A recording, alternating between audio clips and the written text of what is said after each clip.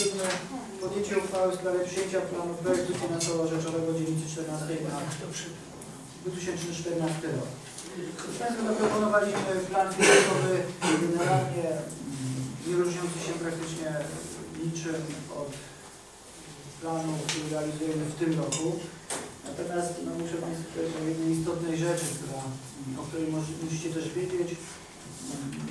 Naszych szacunków na przyszły rok, jeżeli chodzi o opłaty za czynsz, które płacimy tutaj w dzielnicy, wynika, że powinniśmy na ten cel przeznaczyć y, około 14 tysięcy złotych, 13-14 tysięcy złotych. Mm, Ale w efekcie zostałoby nam na materiałach, które służą tutaj wyposażeniu, na materiałach papiera, papierze, tonerach, y, tych rzeczach, artykułach biurowych zostało nam 1000 zł, to by nam wystarczyło myślę, że na 3-4 miesiące maksymalnie.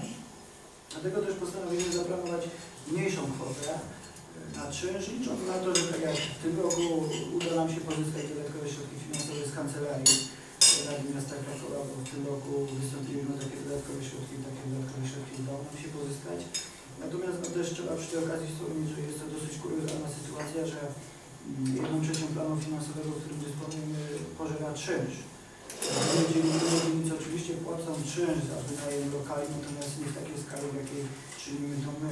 I no, będziemy tutaj czynili, czynili starania w tym kierunku, żeby być może zróżnicować środki finansowe, które otrzymują dzielnice, aby e, środki, które na czynsz otrzymują dzielnice wyłączyć z planu finansowego, a były po prostu finansowane, e, przekazywane w inny sposób.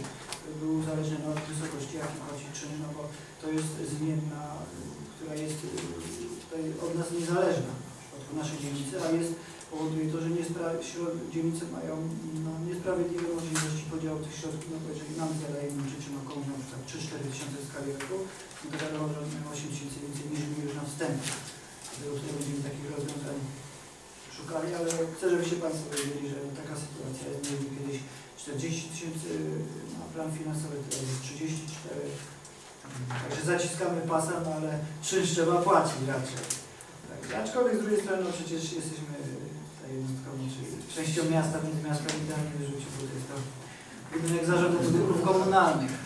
To, to jest kolejne kuriozum, że musimy płacić, płacić jednostce miejskiej za czynsz, no ale to już przerabialiśmy. Niemniej chcę, żebyście Państwo wiedzieli, jak wygląda sytuacja e, z planem finansowym i tutaj wiem, że komisja rewizyjna. Ana- Analizowaliśmy komisja ocena była pozytywna. Co. Dziękuję bardzo Pani Aniu. Dziękuję i otwieram dyskusję, drodzy Państwo. Komu? Ktoś z Państwa radnych chciałby zabrać głos w dyskusji? Nie widzę, w związku z czym zamykam dyskusję i przechodzimy do głosowania. Kto z Państwa radnych jest za przyjęciem tej uchwały? Proszę o podniesienie ręki. 20 za. Kto jest przeciw? Nie widzę, czy ktoś się wstrzymał od głosu. Nie widzę. Dziękuję.